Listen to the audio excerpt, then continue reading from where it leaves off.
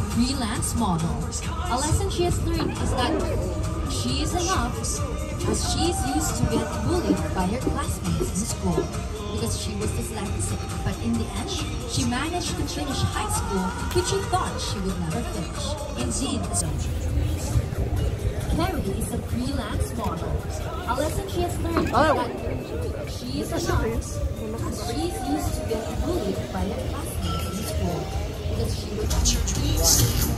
Kerri is a freelance model. A lesson she has learned is that she is enough as she is used to get bullied by her classmates in school because she was dyslexic. But in